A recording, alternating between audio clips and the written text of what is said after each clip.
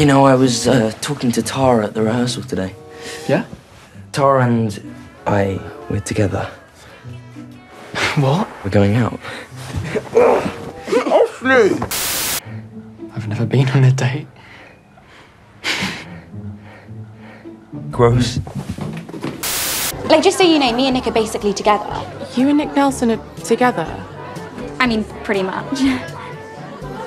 You.